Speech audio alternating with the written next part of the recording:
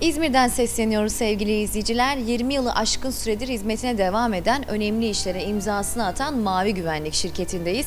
Yanımızda da şirketimizin proje ve kamu ihale uzmanı Serdar Bey bulunuyor. Nasılsınız öncelikle Serdar Bey? Teşekkür ediyorum. Ee, Serdar Bey sizi biraz tanımak istiyorum. Ee, ardından da e, şirketinizin neler yaptığına, hangi alanlarda hizmetler verdiğine değinmek istiyorum. Güzel hizmetinize hoş geldiniz. Serdar Karasu ben. Proje ve kamu ihale yöneticisiyim. 20 yılı aşkın bir süredir e, firmamız sektörde yer almakta. Asıl işimiz elektronik ve güvenlik sistemleri. E, Türkiye'deki bütün kamu ihalelerinin tamamına e, şirketimizin genel müdürlüğü İzmir'de, Adana'da, İstanbul'da, Ankara'da bölge müdürlüğümüz var. 77 ilde de bayilerimiz mevcut. Aslında yapımız bu şekilde. Bu anlamda neler yapıyorsunuz? İşte yollarda görmüş olduğunuz gibi mobeseler var. Elektronik güvenlik sistemlerindeki kameralarımız, acil anons, yangın algılama sistemleri, yangın söndürmeler, kartlı geçişler. Tamamı bu komplike bir sistem. Aslında çok merak edilen konulardan bir tanesidir mobeseler. Ee, tam olarak izleme alanlarınızı neler oluşturuyor? Neler sizden soruluyor peki? Şöyle İzmir'le ilgili bir örnek vereyim. Şu, şu an ülkenin en kapsamlı trafik denetleme sistemi, TEDES dediğimiz sistem İzmir'de kuruldu. İşte bu sinyalizasyon sistemleri var, kavşaklar var, kırmızı ışık ihlalleri var, gabarit sistemleri var. Yani bütün İzmir'deki olayları e, merkezi bir yerden izleyebiliyoruz. Plakaları tanımlayabiliyoruz.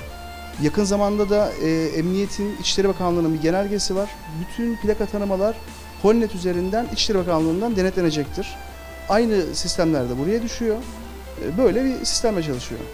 Daha çok sistematik olarak ilerliyorsunuz. Sistem sizden soruluyor. Bu sistemden biraz bahsedebilir miyiz? Mesela kurulum aşamasında ne gibi sıkıntılar yaşıyorsunuz? Şöyle, e, projeyi çizen kurumdaki ilgili arkadaşların teknik verileri doğru ise bizde bir sorun çıkmıyor. Ama altyapıda e, kullanılan malzemelerde teknik bir yetersizlik varsa biz bunları harici olarak çözüme kavuşturuyoruz. Ama tabii bir de onay süreci var. Bu kurumlarla ilgili aslında bizle ilgili değil. Köklü bankalarla da çalışıyorsunuz aynı zamanda. Şöyle e, yakın zamanda Kuvvet Türklerin aldık. Türkiye'deki bütün Kuvvet Türklerin alarmı, kamera izlemesi tamamen tarafımızdan yapılıyor. 2008 yılında PTT'nin tüm şubelerini Türkiye'deki e, hem kamera tarafından hem alarm tarafından yaptık, bitirdik, teslim ettik. Alarm alarm merkezi kısmı hala bizde, mevcut burada genel müdürlüğümüzde izlenmekteydi 24. Bunlarla ilgili bütün e, girişimlerimizi, yapılanmamızı buradaki bölge müdürlüğümüzden yapıyoruz. Serdar Bey, bu arada güvenlik firması olarak tabii ki tercih edilme sebepleriniz de vardır. Bunlar neler öğrenmek isterim sizden. Tercih edilmemizin en büyük sebebi teknik personel yeterliliğimiz, ekipmanlarımız, tesisatlarımız, tüm Türkiye'de 4 saat içerisinde arızaya müdahalemiz. E, çünkü önemli olan sistemi kurup, sistemi faal bir şekilde bırakıp daha sonra arızalanan cihaza müdahale etmediğiniz zaman çok inanılmaz bir güvenlik zafiyeti oluşur. E, biz bunlara e, bu anlamda ilk birdeyiz diyebilirim sektörde. 4 saat içerisinde Türkiye'nin neresi olduğu önemli değildir. Arızaya müdahale ederiz. Bu arada zaten e, cihazlarınızın da garantileri mevcut. Kendi bünyenizde 2 yıl garanti sunuyorsunuz.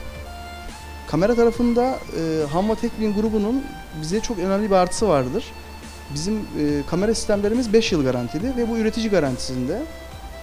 Onun dışındaki tüm diğer ekipmanlar 2 yıl garantili.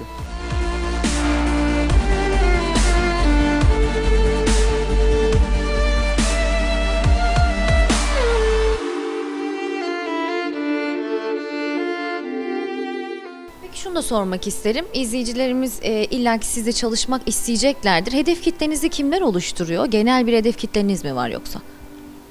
%70 oranında kamu kuruluşları, %30 da özel sektör, fabrikalar diyebilirim. Yani özel sektörden de tercih etmek isteyen e, izleyicilerimiz varsa bunu da altını çizmiş olalım sevgili izleyiciler. Peki e, işinizin tam anlamıyla aslında riskli alanları da var. E, kameralar, cihazlar, sağ içerisindeki çalışmalarınız. E, bu riskleri nasıl analiz ediyorsunuz? Nasıl aşağıya çekebiliyorsunuz?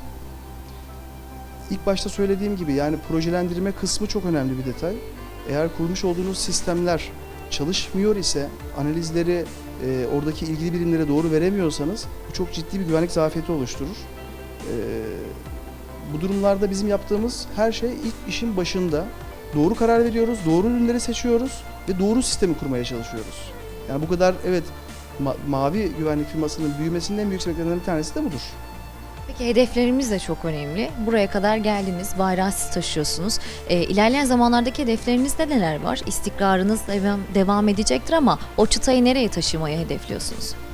Gelişen teknolojide tabii e, teknolojinin nereye kadar gidebileceğini öngöremeyebiliyoruz. Yani e, işte bir 10 yıllık bir hedefimiz vardır ama 20 yıl sonra ne olacak, ne yapacağız hakikaten bunu bilmek mümkün değil. Ama 20 yıl sonra da gene ilk üçte kalacağımızı garanti edebilirim. Çok teşekkür ediyorum. E, son olarak eklemek istediğiniz bir şey var mıdır Serdar Bey? Röportajımızı nasıl noktalamak istersiniz? Ben sizlere teşekkür ediyorum. İzmir'e kadar geldiniz. Bizim için İzmir Ege'nin incisi. Ee, inşallah bir daha bekliyoruz. Bizim için de öyle elbette. Çok da değerli bilgiler paylaştınız bizimle. Çok teşekkür ediyorum. Ben teşekkür ediyorum. Sevgili izleyicilerimiz İzmir'de Mavi Güvenlik firmasına konuk olduk. Bir kez de sizlerin huzurunda Serdar Bey çok teşekkür ediyoruz. Programımız devam ediyor.